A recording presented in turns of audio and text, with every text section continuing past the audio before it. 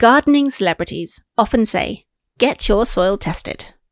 But does soil knowledge really mean more plant power?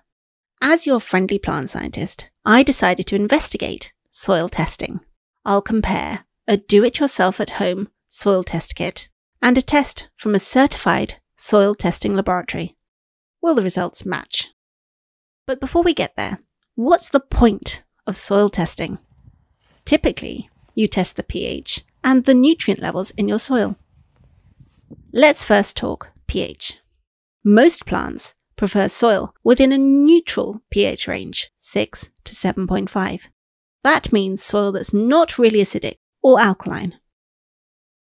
Neutral soil makes it easier for plants to absorb much needed nutrients from the soil.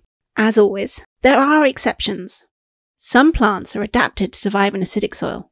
Rhododendrons, blueberries, and heathers all love soil that's acidic. Once you know your soil's pH, you can adjust it. To make your soil more acidic, add sulfur. To make your soil more alkaline, add lime or wood ash. Fingers crossed, my soil has a neutral pH for growing a wide range of plants. Let's find out soon. On to soil nutrients. Just like us, plants need a lot of some nutrients called macronutrients. Think nitrogen, phosphorus, and potassium, and some nutrients in much smaller quantities. These are called micronutrients. Micronutrients are elements like zinc, iron, sodium, nickel, and copper. Like Goldilocks porridge, soil nutrition needs to be just right. A lack of nutrients will limit plant growth, and too much of any one nutrient can be toxic to plants and can also stop the plant from taking up other nutrients. Generally, home DIY soil test kits only test for pH and a few macronutrients, whereas laboratory soil tests check for pH and a far wider range of macro and micronutrients. More on these soil tests in a moment. So we've covered pH and nutrients. Now, let's collect the soil for my two tests the home soil test kit and the laboratory soil test. Remember, your soil test results will only be as good as your collected soil sample. So take your soil samples from areas where you grow your plants and don't sample areas you've recently put manure or fertilizer on, or you'll muddy your results. In this case, I'm testing the soil from my new allotment. If you can only test one soil sample, you can collect a composite sample. A composite sample means combining the soil from multiple areas on one growing site to cover the whole growing area. Take your composite sample from a W shape.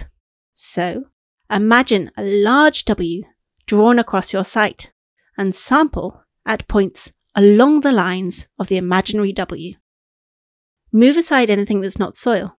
Dig down into the plant root zone about 30 centimetres or a foot. I find it easiest to dig a small hole, then use my spade to cut a thin slice from one side of the hole.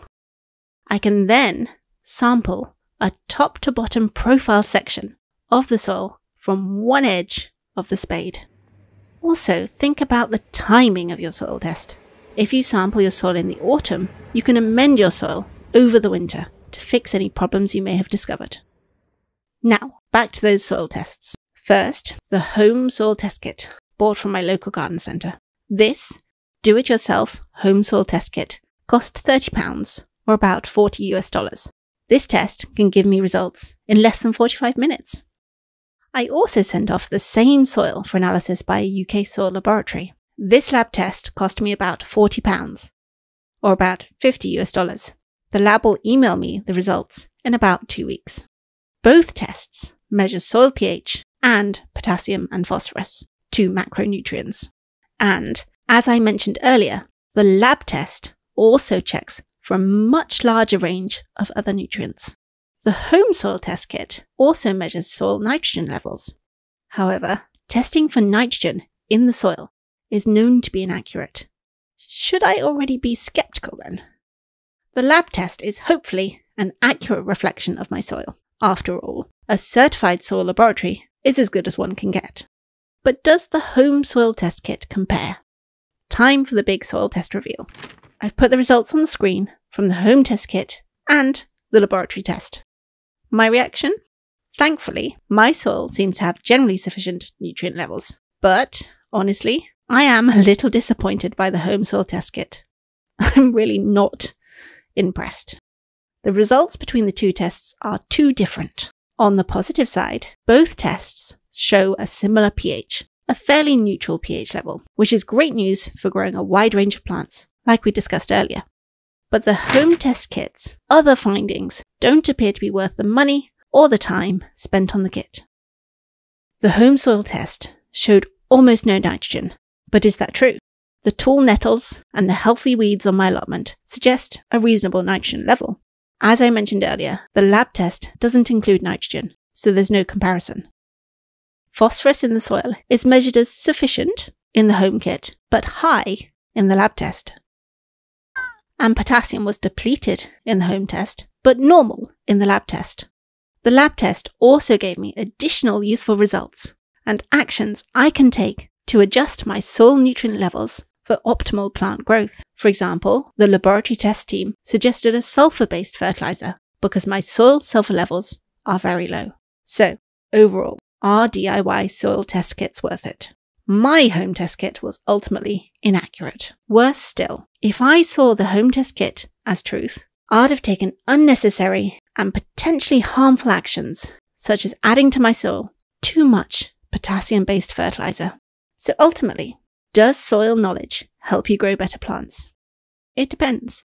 If your plants seem healthy and productive, then you probably don't need to test your soil, unless you're just curious. If it ain't broke, don't fix it. However, if you notice on your plants yellowing leaves, purple discoloration, or stunted growth, then yes, soil testing is worth it. And from what we've learned together, if you want to test your soil, don't use a possibly inaccurate home soil test kit. Instead, send a soil sample to a certified lab. Always remember that old saying trust but verify. Wishing you healthy plants and happy gardening.